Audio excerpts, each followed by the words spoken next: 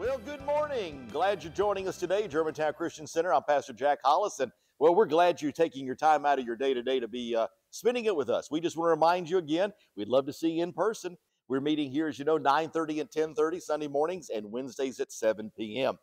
Well, if you've been tuning in the last several weeks, you know we've been looking at some areas of encouragement. Because after all, I want to come to church and get encouraged. How about you?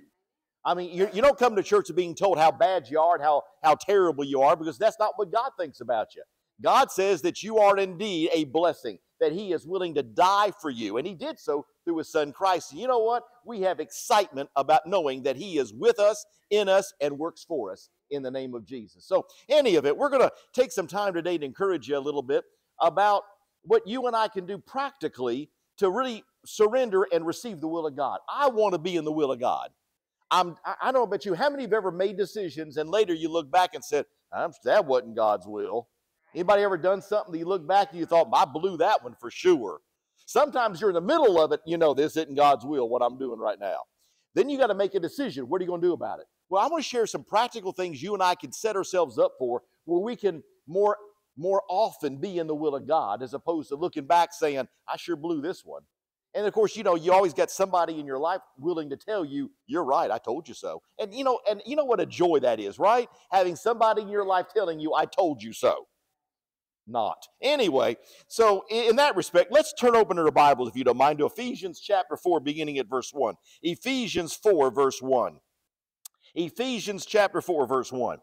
Some practical ways we can know the will of God. And you know, folks, we looked at it, we've encouraged you, we looked at the area book of Romans, and we talked to you about how that in the beginning of the book of Romans, we have doctrine, instruction, things that, you know, just t- teaching you, you know, this is the will of God, this is this, this is what it is. And then later in the book of Romans, you have some practical application. Here's how you do it. And so it's important that we take what we know and then adapt it and apply it to our lives. It's one thing to say, hey, let no corrupt communication proceed out of your mouth, and that's great, but how do I do that? How do I go ahead and say, well, I know I'm not supposed to say, well, how do you, uh, how do you adapt that into your life? Well, then you've got to begin to associate and think about it. What will I do when I have to go into my office or into, into work and I see this person that you know doesn't like you too well? And frankly, the feeling may be mutual. And they smart off to you. How are you going to respond? You need to prepare yourself for the challenges that you know you're going to face because there's enough of them you can't prepare for naturally because you don't know what you're going to face. So position yourself when you know you're going to face something and you, you, you know that it's there, God reveals it to you, or you have knowledge of it, set yourself up for success. Be prepared. You know, we talked about this is the day the Lord hath made. I will rejoice and be glad in it. One of the best things you and I can do every day is to rejoice in the Lord and be glad about it. Why don't you embrace the day and everything that it has? Don't embrace, embrace the day of like, man, I know some bad stuff's going to happen today. Why don't you stop that and start using your faith and say, Lord, I'm tendering, I'm giving you this day, and I'm asking you to use my life and chart my decisions, chart my actions, chart my steps, pattern them after what you want them to be. I'm giving you permission to use me. A lot of times in life, what happens is we find ourselves in a position of being aimless, wandering about because we haven't decided the direction that we're going to be taking in the beginning. If you just start set out, and I know we've all done it before, you've gotten in your car and you you start driving and you're you're thinking about other things. Next thing you know, you're you're going somewhere you you, you didn't need to go. You know what I'm saying? You're, you, you get a pattern. If you always go to work a certain way, you get in your car, you're driving, not thinking about it. It's Saturday, and next thing you know, you're on the road to work and you're sitting there thinking, what am I doing? I don't need to go to work today. You were going to go to Kroger. Well, then why am I going this way? It's because you're not thinking. There's not a purposeful choice and decision. You're not embracing the day. You're letting things just come as they are. And sometimes in life, what happens is some of the old patterns, the old ways that we used to be, start creeping in when you're not being deliberate about trying to chart a new way of living. That's why sometimes your mouth gets the best of you. Come on, tell the truth. How many sometimes know that that you know, as the Bible said, you're supposed to have your cup running over, not your mouth? How many have had your mouth start running over at times and you're sitting there thinking, oh my gosh, Lord, make it stop? No, you have to make it stop. Isn't that right? Okay, Ephesians chapter 4, beginning at verse 1. Paul the Apostle urges us by the help of the Holy Ghost. He says, I urge you to live a life worthy of the calling you have received. I urge you to live a life worthy of the calling you've received. In other words, we must have all received a calling. You all have received a calling. You know, folks, we are called by God to do something every day. Once you embrace that, you might start asking, What is it you've called me to do today? Me be in a situation where you say, Well, I, I don't really know. I don't perceive it. Well, then, what, what are you called to do today? What, what are you doing today? Well, let's say you're going to work. You're called of God to go to work. Fine. Then be a blessing there. You know, isn't it amazing that if you're not careful, you can stir up so much strife. How many, how many know that? How many of you know? How many have ever had this happen? You came home, everything's great, you're in a great mood. You walk in the door, and one of your kids isn't in a great mood. Next thing you know, all sorts of strife is getting stirred up. And you're asking yourself, what just happened? Anybody ever have that happen? It's like calm seas turns into a tempest. You ever gone into work, everything seems great, and somebody just acts out carnally. Next thing you know, everybody's all stressed out at each other, and you're like, what just happened here? It only takes one person. The other thing is, it only takes one person to go ahead and calm the storms of life, too. If you remember correctly, you know, Paul the Apostle found himself on a, on a, on a particular boat that wasn't doing too well. And it was being tossed about and everything else. And he prayed. And all of a sudden, God sent an angel down and told him, you know, everything will be fine. Said, you know, they're, they're going, they're going, some, some things are going to happen, but you know what? Every life, every life's going to be fine as long as they stay on the boat with you. And you know, he got up there and told everybody, Sirs, I've had an angel stand before me right now and told me everybody's going to be fine as long as you stay on this boat. So stop trying to jump in the water over there. You stay here. And guess what? Everybody was. It takes somebody to stand up and speak faith in the response to what God has told them. That's why it's important to know the will of God. You can actually help others and inspire others to do right, live right, and be right because you are someone who listens to the voice of the Holy Ghost. Amen? So it says that, that he's urging us to live a life worthy of the calling we've received. The word here means to call near or to invite. I don't know. I think we need to do that ourselves. He makes this plea in the light of God's mercy. The original word here used, as it were, for mercy actually is plural and refers to God's multitude of mercies. Can we all agree God is a multitude of mercy God? Okay, you say, well, what, what describe mercy? Okay, how many are glad for amazing grace? You know the song, you've all sung it, right? Amazing grace, how sweet the sound that saved someone like me. Aren't you glad? Okay, grace is the fact that you get something you don't deserve. Y'all like that, don't you? How about mercy? You know what mercy is? Mercy is, I'm boiled it down to you, is you don't get something you deserve. How many are glad you don't get what you that you deserve?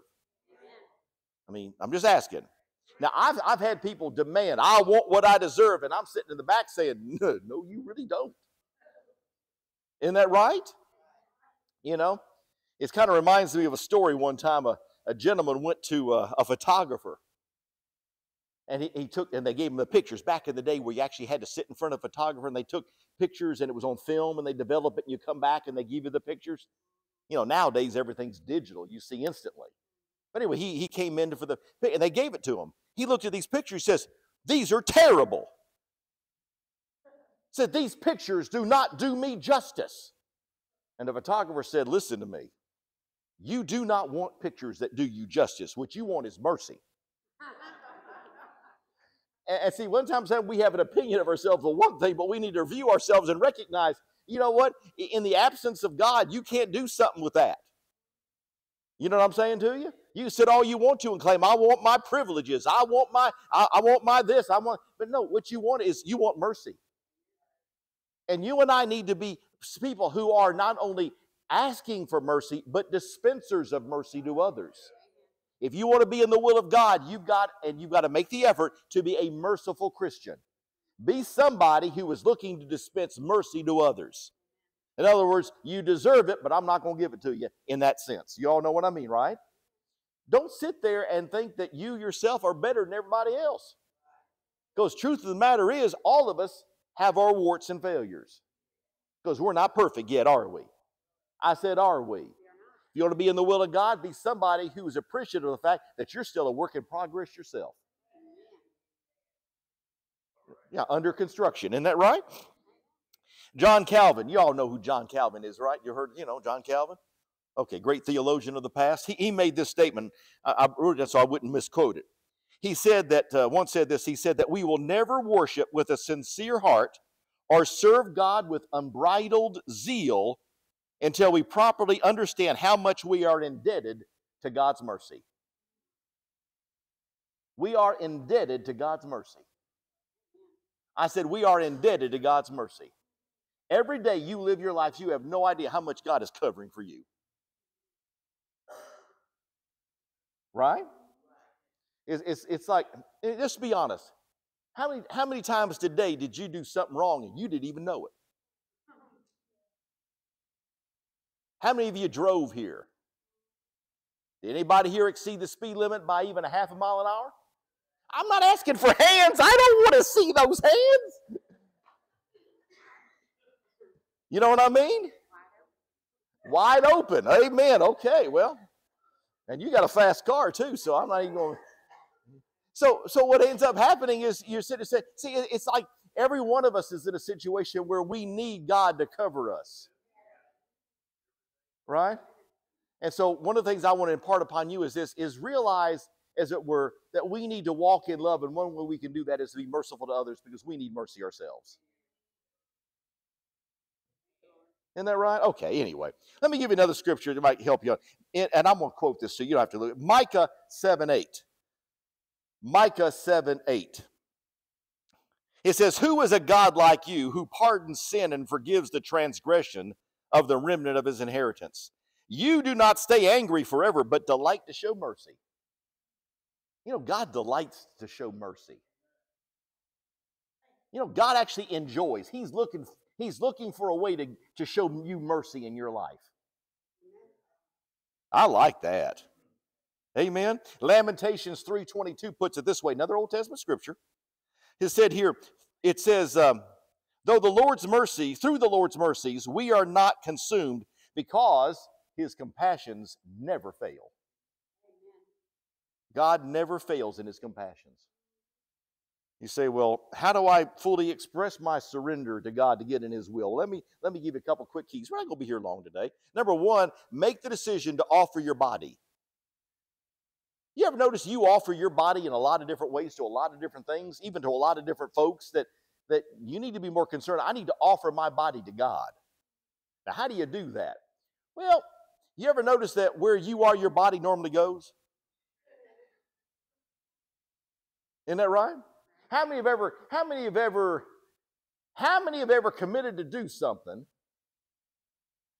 and your body's telling you when it's time to do it, you don't want to do that. Just, you know, just stay there. Anybody know what I'm talking about? Now, I've told funny stories over the years of all the things that, you know, and we've all done it. You know, it's amazing how many times we make a commitment for the future. Thinking that, oh, it's a month away. That's a month away. Let me just, let me clue you in. A month will come. Yeah, right now, a month seems like a long time away. But guess what? You keep getting up in the morning, a month is going to come around. And when it does, what you promised to do is going to come around. And it's going to be a decision you've got to make. And that's when you need to look back. I've already made the decision. I mean, let me, something that just comes to mind. Years and years ago, when, you know, my wife and we've been married now, what, 39 years, haven't we? I'm, I'm stating, it's not a question, a long time. And, and honestly, it only feels like 39 minutes underwater. But anyway, um, anyway, but what ends up happening is that that you know uh, years ago my, my wife and I we were, we were talking and she commented that there was a, a family that you know when they were going to church and all that had asked her father who's you know with the Lord now good godly man he, he was a really godly man and um, asked him I said uh, you know because they always knows that they're, they're you know the two kids and you know, they, they all come to church everybody's in church and he's like how do you get your kids and your family to come to church with you it's like you're here every, I mean, you're, you're just here every Sunday, and, and I guess even during the week, you're always here. I mean, how do you, and he goes, it, you know, he was just, he said, what do you mean? We just, uh, we're having trouble getting our kids to come to church. And I guess the response he gave this guy says, Well, it's really not difficult. We, we don't give them a choice. We tell them, You're coming to church. And he said, We've already made up our mind what we're going to do, that we're going to church. We don't make that choice on Saturday night or Sunday morning. We've already made that choice and it's in effect. So sometimes you've got to make a decision that is not revisited. Sometimes you revisit a decision and then you have an opportunity for other voices to tell you or influence what you're going to do now. Now, let me bring it down to practice. How many times have you ever gotten a situation where you're like, you know, I, I, need to cut back my desserts? Anybody ever said you need just to cut back desserts? I'm asking, anybody ever, anybody ever thought that? Thought about it? Anybody ever thought about it? I didn't say you did it. I just haven't ever thought about it. You're like, you know, I need to cut back on my donut consumption. Instead of two dozen, I need to cut back to one dozen. Anybody ever know what I'm Okay. Anyway, so you, you sit there. Well, you ever notice that when you when you that, then you say, This is what I'm gonna do. I am I'm gonna forego sweets or whatever it might be. Then then what happens when lo and behold, you know, Sister Deborah makes you a, a, a beautiful chocolate cake or a, or or something and oh here I, I just had it on my heart to bless you or or here's oh you know i was i was passing the cupcake shop and thought of you and and here's 12 dozen cupcakes. You know I mean, something you know. Then you sit there well i can't let them go to go to waste. Right? How many times you've been at a restaurant and they come and they bring you a free dessert? Now you have to eat it it's free you don't want to hurt their feelings, right? I mean, it's free. That must be God. That must be the will of God. That, that it's free. Not free of calories, it's just free. What I'm saying is, you and I will then have to, re- now if we're not careful, we're revisiting our decision. And that's a problem because once you start revisiting it, then you might be able to not make the decision you need to make. See, we have to be determined that what we decided we stay true with. Right? That's what gets people in trouble in their marriages when they revisit certain decisions and get, you know, confused about maybe they need an upgrade. You know what I'm talking about? That's a problem, isn't it? There's some things you don't revisit. You've decided it's like, nope. And, and the normal course, you know what I'm talking about. I'm talking about the normal course of it. So what are we supposed to do? Make decision. I need to offer my mind, my body rather, need to offer my body up to God so that when my body is in a situation where it's committed, I'm going to stay faithful and do what it says. God says I need to offer my body as a living sacrifice to God. It means I'm offering myself to God as a living sacrifice. We've all talked about it. What's the problem with living sacrifices? They have a tendency to get up off the altar. Okay, that's something you need to sometimes just let. Nope, nope, nope, nope. You're staying there. Because when you and I come to church and we, we, we get convicted about something, like, man, I need to do better about this. Maybe it's a habit you have or something's going on. Maybe it's your response to certain individuals and you realize, I can do better. I can show mercy. And maybe in some ways your mouth gets the best of you. Maybe you're someone who is rash and you just let it fly before you let it think.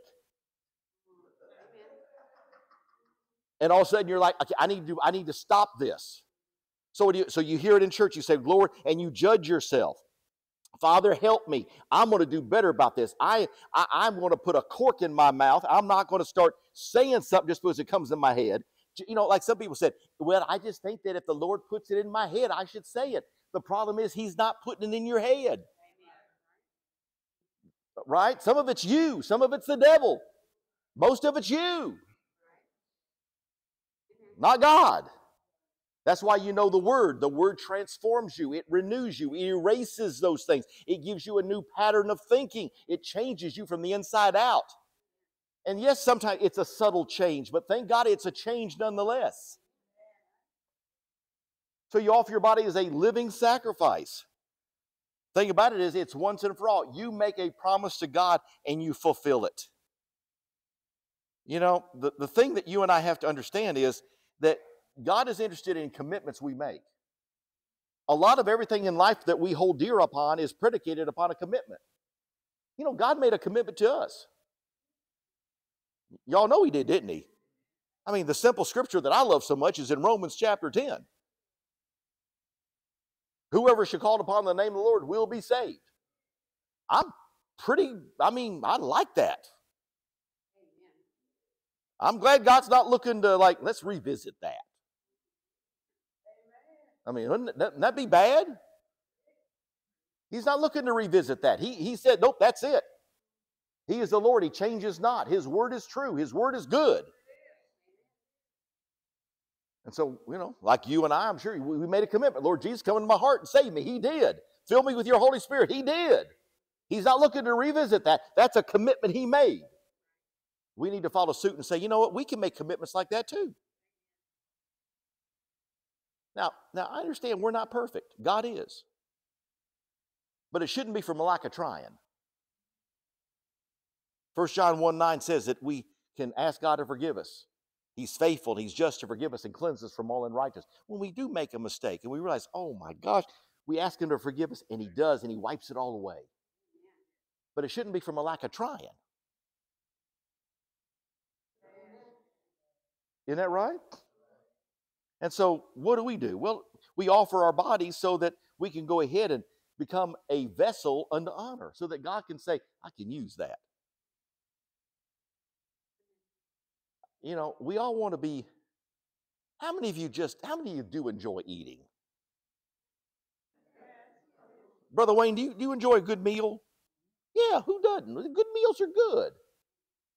You know, how many of you go to a restaurant named Dirty Plates? Y'all go to a restaurant called Dirty Plates?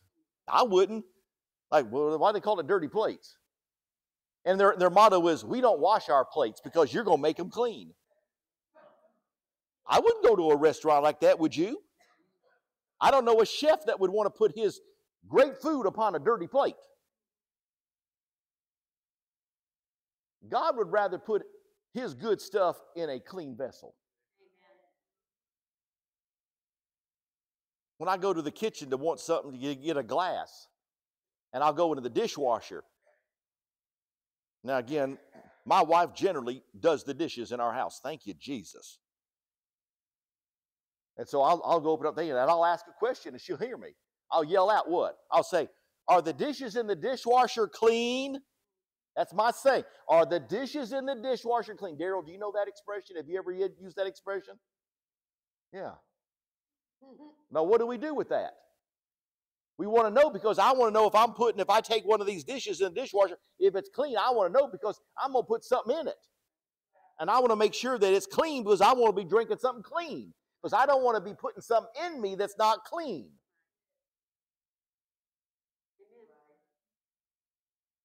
If we take that much care and concern over what we're going to put in our body physically, we ought to be taking that much more concern what we put in our lives on these other areas. Isn't that right? Next thing we need to do offer your mind. You say, what do you mean offer my mind? Well, the Bible tells us over there in Romans chapter 12, we looked at it, how we all need to go ahead and, and have our minds renewed, verses 1 and 2. You know, beloved, I, that we should, you and I, should offer our bodies as a living sacrifice, holy and acceptable to God, which is our reasonable act of spiritual worship. And be not conformed to this world, but be transformed by the renewing of our minds, that we may prove what is that good, acceptable, and perfect will of God. If you want to know what is the good, acceptable, and perfect will of God, you need to have your mind renewed so you can recognize it. How many of you have ever just been in a wrong spiritual state of mind in your life and couldn't recognize God if He was standing in front of you in a red dress? You know what I'm saying, right? You'd sit, I mean, you just, you, because you're not in a spiritual context. You and I, a believer, have to make sure we are in a position where we are in fellowship with God and we are in a position looking so we can recognize the will of God. Our minds have to be renewed to what God wants it to have in it. and how we are looking and viewing the world. You and I both know there are folks in this world that are just ugly on the inside. They need Jesus. But the sad thing about it is there's some Christians that are the same way.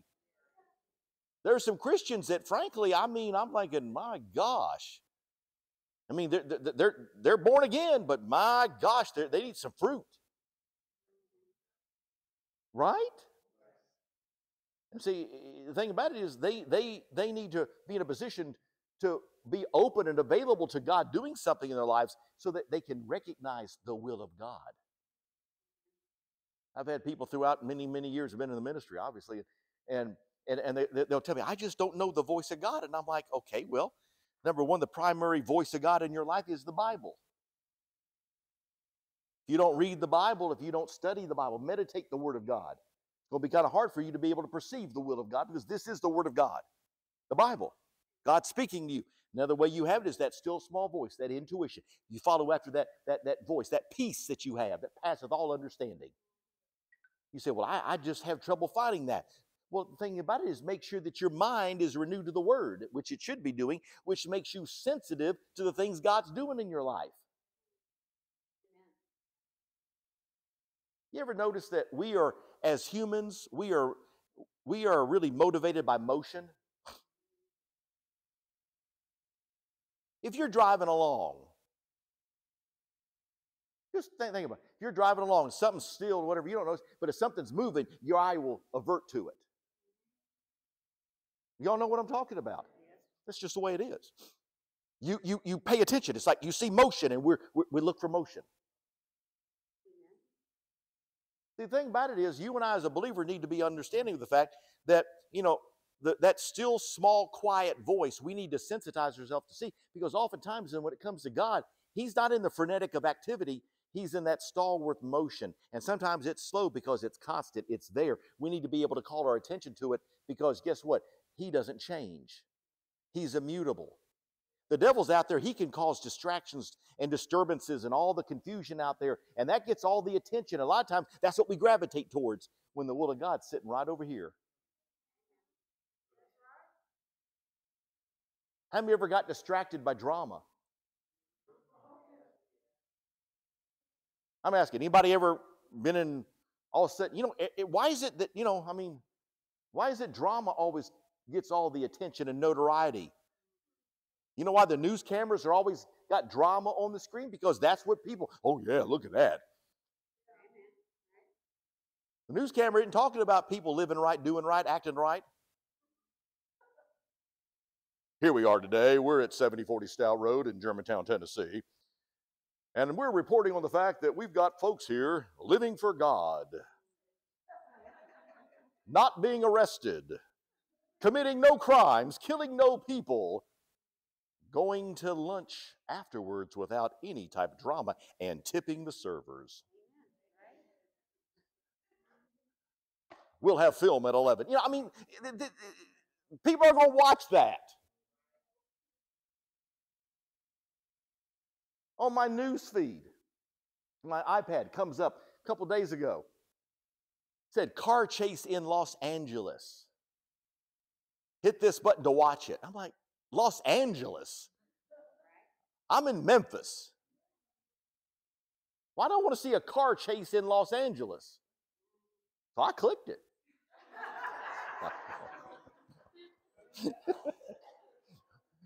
but what I'm saying is it's amazing how it's amazing how we just we want that that frenetic activity. We need to we need to be willing to follow that still small voice down in here. And, and that's the benefit of saying, Father, I want to be able to be still and quiet and to know you. Amen. We need that transformation that only God can bring. If in 2 Corinthians chapter 3 verse 18, 2 Corinthians 3:18. It says, "And we who with unveiled faces all reflect the Lord's glory are being transformed into his likeness with ever increasing glory which comes from the Lord who is the Spirit." Father tells us that we are being changed. We are being we're being transformed by him as we allow his glory to be reflected in our lives. every time we spend time with the Word, every time we hear a good message that from the Word of God and we reflect upon that and say, God, speak to me, encourage me, talk to me, guess what? God begins to bring that and work His good pleasure in you. He reveals to you things that He wants you to know and to be able to recognize. Sometimes it'll be a situation you'll hear scripture and, and something will just will just ding in here and, and cause you pause. And that's something you need to put into place and begin to practice and be aware of. It may be such innocuous things that seemingly doesn't, doesn't seem to, to, to, to ring, you know, the, the, the sirens of, of the world. But if it's something God is trying to apply to you, take note of it. I've told the story years ago how, you know, I was reading the Bible and I love Proverbs and all that. And, and so, and I'm, I'm reading along and, you know, I've told the story, but you know, I'm reading, and all of a sudden, the, you know, this scripture that I'm reading that morning, it tells me that I need to be good to people, be merciful to people, be charitable to people. That if it's in my power to grant it to someone and give it to them, I need to do it. Oh, of course, Lord. Hallelujah. After all, I'm a Christian, and I, and besides that, I'm a pastor. And we all know that that that must give you something, right?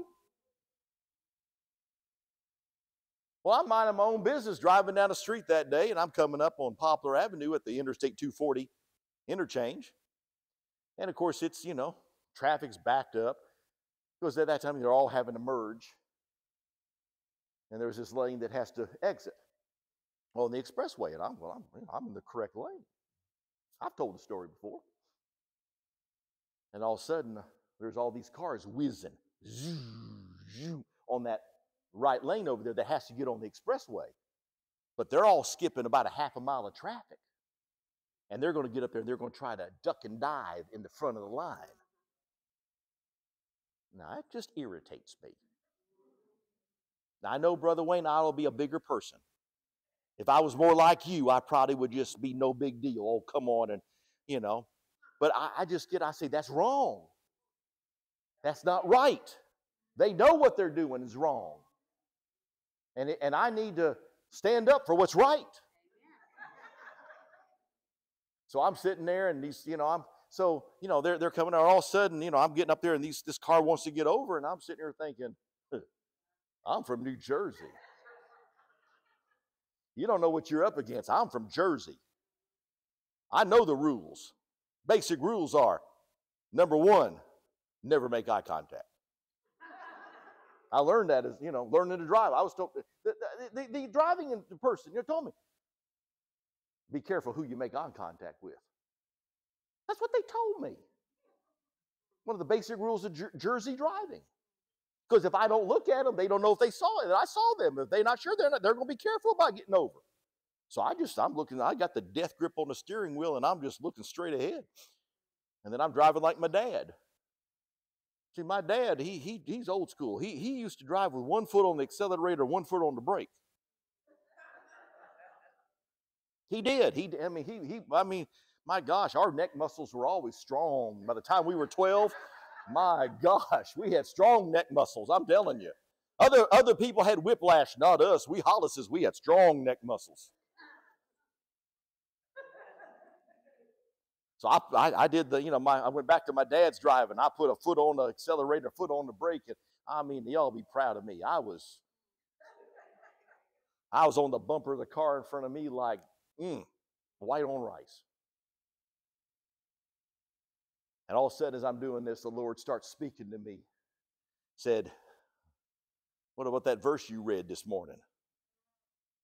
I thought, well, see, the devil can use scripture too, you know.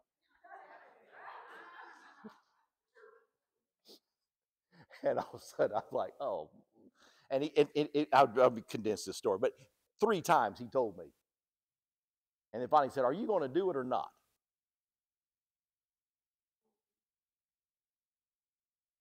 And I thought, They don't deserve it. At that moment in time, you know, it's a van that was sitting over there. I look over like,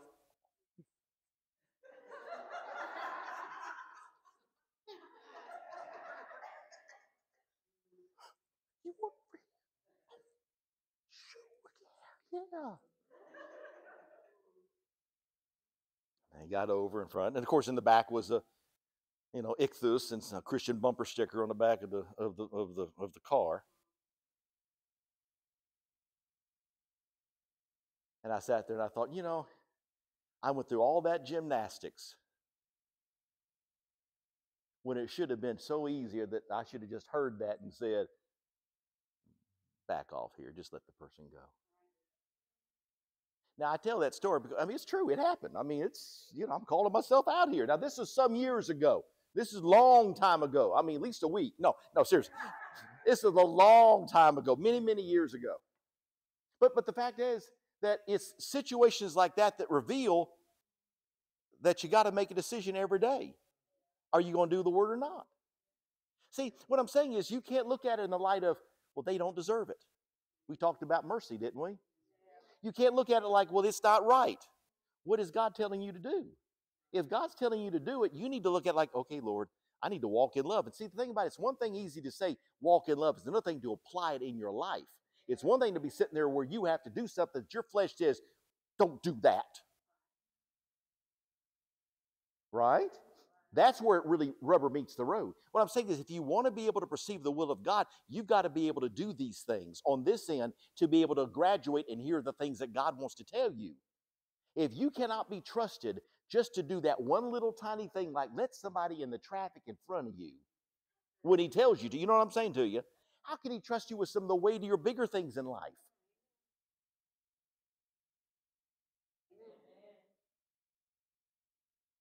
It really is those little foxes that spoil the vines. And when it comes to faith, you know, faith is built upon faith. We talk about great faith. Great faith doesn't happen overnight. Great faith is built upon the stair steps of, of obedience to do what he tells you to do here. That makes sense? You know? Glory to God. I said, Glory to God. We need to renew our minds and really allow this to happen. The, the, the, the New Translation or the New Living Bible puts it this way of Romans 12 2. I kind of like this. It's something that I think we can all grasp and understand. Romans 12 2 in the New Living Bible puts it this way Don't copy the behavior and customs of this world, but be a new and different person with a newness in all you do and think.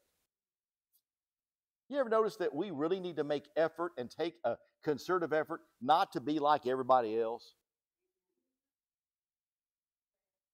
Because you're not careful, people rub off on you, not in a good way. That's all I'm trying to tell you is be smart enough to say, you know what, some of the people you hang out with, you really don't want to be like them.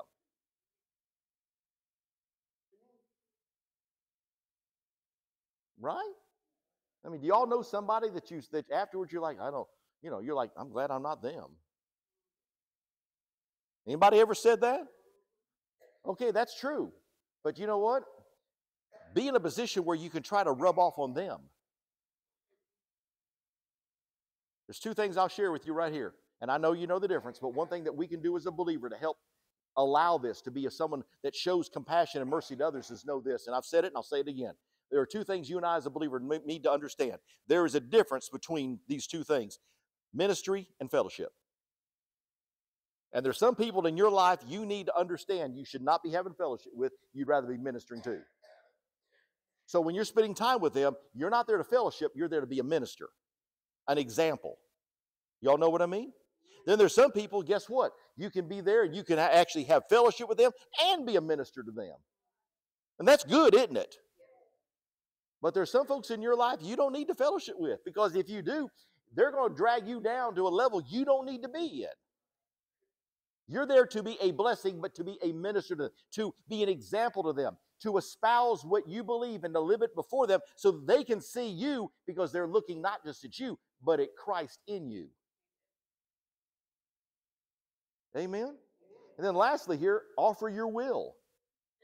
Offer your will. The, the, the, second part of this verse here in Romans is that, that we will be able to test and approve what, it, what is the will of God, His good, pleasing, and perfect will. Isn't it great that God allows us to test and approve His will for us? God is not going to force you into anything. Aren't you glad? You know, He doesn't dominate our wills, but allows us to choose His will. I mean, God's not like your spouse.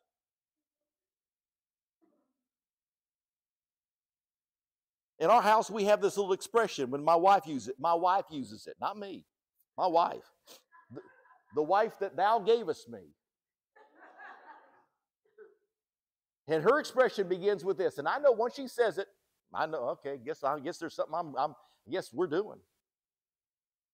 These, these, this little expression is, I'll see if she knows it. Just so you know. True? Yeah, uh-huh. Just so you know. When I hear just so you know, what, what basically this means is you're fixing to do something and it's not open to debate. just so you know. Now, my, my, my first response is when I hear just so you know, is, is like, I don't really want to. I don't. I hadn't heard it, but I don't want to do it now. It was you know who wants to do something when you feel like you have no choice? Right. Just so you know. just so you know. Now, usually it's just so you know. We're gonna we're, we're going over here to do you know whatever. Just so you know, folks. You and I, as a believer, need to offer our will to God, and that when God tells us to do something, it needs to be prefaced with these words, just so that you hear it this way. Just so you know Right. just so you know. I know when I hear just so you know, you know, white flag, okay, okay. White flag, okay, we're, we're going to do this, you know. We ought to be, when we sense the will of God, when we read, God brings alive to us the scripture, we ought to just preface it like we've heard this expression, just so you know. Just give into it. Amen? Why are we fighting it? Give him our will. You know, there's there's no use sitting around waiting to have the will of God revealed to us. This is an active verb. We need to be busy doing the will of God, and as we're doing that, He will reveal His will to us. A lot of times people say all the time, Well, I just need to, if you'll tell me what to do, I'll go out and do it. Folks, if there's certain things you know you need to do right now, do them, and God will add more. How many of you want great faith? I mean, I'm asking, how many of you want great faith? I mean, I do. Just use what you have. Don't have the, the, the lottery syndrome when it comes to your faith. You know how many people say, well, Lord, you know, if I win that lottery, I'll do this and I'll do that and I'll do this. No, you won't. I've seen it. I've known people that have won the lottery. If they weren't givers before, they're not givers now. I knew someone back in the in the uh, middle '80s who won a million dollars in the lottery. They bought a dollar ticket, scratched off the dollar ticket, and got a hundred dollars. That hundred dollar ticket was entered into the lottery, and they drew out of a huge bin a person was going to win a million dollars and their ticket was pulled. And they were the same stingy folks that they were after as they were before. Because you know what? That, that doesn't, it doesn't work that way. What I'm saying is, we have to take steps today to become the person that we're believing for tomorrow. That makes sense. There was a reason. I'm glad when it comes to like I, I'll put it this way, just because it, you know, I remember you know, being a giver. Everybody needs to be giving of their time, talents, and abilities, right? You ever know some people that just are stingy with like their time, talent, ability, knowledge, whatever? I mean, they just like, you know. I was not brought up that way. You know, I'm glad my parents, as a little kid, walking into a Methodist church. I mean, you're a little tiny kid. And, and my dad's slipping me a quarter, putting a quarter in my hand. You know, I knew what it's for wasn't to put it in my pocket and hang on to it. Now, you know, y'all know what I mean? I, I now, you know, I remember one time, tell off on her. Remember one time after church and all that? My sister was playing around with a quarter after church. See, she was given one too. And she had a quarter she was playing around with. And I looked at it, I said, Where'd you get that? So Dad gave it to me. I said, Yeah, he gave it to you to give to the church. And she's playing, but it's mine. Well, you're right, it was yours, but you were supposed to do something with it. See, just because you have something doesn't mean it really is yours. As a believer, we need to look at what we have as, as uh, it's on loan from God. That makes sense? Your talent, your time, your attention, everything, it's on loan. God just loaned it to you. Every day is a gift. I was talking, and we'll close here. I was talking to one of the one of the folks in our church here not long ago, and we were talking about certain individuals that had passed away just, you know, suddenly and younger. I mean, just, you know. And and and yet you don't know. I mean, every day you have to look at it as a gift. Every day. Every day you wake up, never take it for granted. Before you go to bed, just thank the Father. Father, I thank you again. I, you just tell him, I did the best I could today, and I, I appreciate you giving me another day, and, and, and let's do even better tomorrow. Offer your will to him. Let him know you belong to him. Let him know it's okay for him to tell you just so you know. Say, Lord, I, I want to hear though. I want you to tell me just so you know. I want to do something with you and for you. I want to do something that furthers your, your, your kingdom on this earth. Amen. If we'll do that, then guess what will happen? We can sit there and have an expectation that we're going to wake up the next day. And we can say, This is the day the Lord hath made. I'm going to rejoice and be glad in it. It doesn't matter what others are or are not doing. What matters is I'm going to serve God. I'm not going to let other people's unbelief make my faith of no effect. That's basically the fancy way of bringing around to what your mom told you as a kid. Remember how it was when you were doing something because all the other kids were too, and then they and then your mom told you. Remember? Yeah, exactly right. Well, if you, if they all jumped off a bridge, would you jump off of it too? That's the same thing that you're basically on a spiritual sense. Just because everybody else is doing something that's wrong doesn't mean you should be. Right? Have a proper estimate of yourself. The scripture I'll leave you on is right here, and I'll close. Look at the verses 3 and 5, as it were.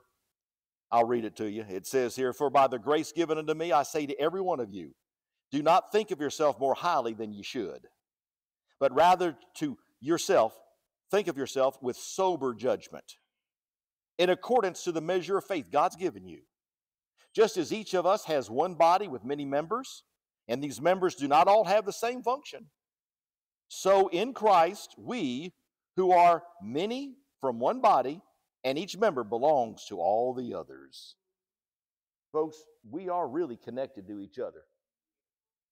We need to recognize that, you know what, as God has dealt to us, we need to walk and function in that capacity. And so, you know, don't look at someone else longingly as if they have it better than you. No, they have it for them. You have what God gave you to do. Now, ma- maximize it. Live, live it to fulfillment and potential. You'll find out that if you'll do that, you'll be blessed. I raised my kid with this one thing was he played, you know, he played sports in areas, you know, bowling, and that's a sport. Be nice. we did football and he was more cheerleader than football player. We did, I, I coached that. I coached baseball, coach pitch. I mean, basketball. I did every sport trying to expose him to sports. I remember I came home one day and my wife looked at me and said, Honey, I think you're just going to have to resign yourself to the fact that he isn't an athlete. You know? And I just said, Get thee behind me. Hallelujah. You know. But we found we found that a sport that he was good at and loved. It was bowling. He excelled in it. But thing about it is, I try to tell you, he had, he just you know he was really good young age, won the city championship at little uh, at all at not quite 12 years of age. He was 11 years of age, almost 12. Won the city championship, beat everybody. Kids that were 21, he beat them. You know, he did that twice actually. Did it later, a couple years later too. But anyway, but I told him something. I said, son, you know, he come up to me, he, he's like, well, so and so, you know, I said, you're always going to find someone better than you. They may have a, they may have more of this or that or whatever, maybe taller, stronger, whatever. Yeah. But here's the thing you'd always need to remember hard work beats talent when talent doesn't work hard. And so you're in a situation just like that. God's given you grace and given you a measure of faith. He's given you something to use. And you know what? And, and you, you might look at someone else that they seemingly have more. But you know what? That doesn't really matter because you're not them. And secondly, you need to maximize what you have. And I go back to the same saying, and that is that hard work will beat talent when talent doesn't work hard. Just because someone may have more of something, if they don't are not faithful over it and give it to the hand of God to use and allow Him to bless it and grow and mature in it, does them no good at all. You take somebody who has a little bit, even as a grain of mustard seed, and God, when He blesses it, can make it flourish and manifest into something that is something to behold. Give God something to work with, and you'll be amazed at what He gives you back in return. Amen. Hallelujah. Well, I hope you got something out of this today. Try to encourage you a little bit in light of what we've looked at the last couple of weeks. Hallelujah. God is good, and His mercy endureth forever. Glory to God. Heavenly Father, we thank you in the name of Jesus for all that you've done. You're a God that is more than enough, and we're so grateful and so appreciative that you have chosen to make, make all of us here a part of your family. Heavenly Father, we thank you for the preciousness of your love and of the sacrifice that, that you allowed your Son to make on the cross of Calvary. Father, we mentioned it a moment ago, you said in your word that whoever would call upon the name of the Lord would be saved. Father, thank you so much for honoring that commitment of being a God that is truly a, a, a God of your word. I, I, just pray, though, Father, if anyone listening to, to maybe this message and these words, that Father, and maybe, uh, maybe they're unsure, unclear whether or not they've accepted the Lord Jesus. Maybe they don't know they're going to spend eternity in heaven with you.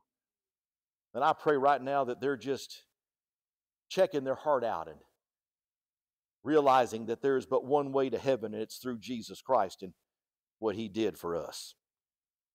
You said in your word in Romans 10 that whoever would call upon the name of the Lord would be saved. Heavenly Father, I pray right now if there's anybody yet to do that, listening to this message, online or, or even here, Father, I thank you that all they need to do is say, Lord Jesus, come into my heart. Fill me with your spirit. Forgive me of all my sins. I love you and I want to serve you. Come into my heart in Jesus' name. Father, we thank you for all that you've done. Help us to be able to be, to be receptive to your word, to the leading of your spirit. Help us, Father, to present our body as a living sacrifice and to allow your word to remain in us. We thank you, Father. In Jesus' name, amen and amen. Well, for those of you joining us online, I appreciate you taking the time. I pray that this day becomes a great day for you. And so, if there's something we can do for you, if you don't mind, just reach out to us. The information on the screen of how you can do that. Also, if, if you'd like to be a blessing to this church and ministry with your financial giving, on the screen are some ways you can do that. And we thank you for it. After all, your faithfulness is, is something that we value and we thank you. But we also know something else. God said in His Word that we are indeed reapers of what we sow. It's kind of nice because that gives us encouragement that as we sow good things, we receive good things. Kind of something to shout about and be glad about. And so for that, we just say thank you ever so much. Again, we welcome you to come back here Sunday morning, 9:30, 10:30, or Wednesday at 7 p.m. And until we see you again real soon, always remember, God does love you. He cares desperately for you. And that Jesus is Lord. Have a wonderful day. Bye-bye now.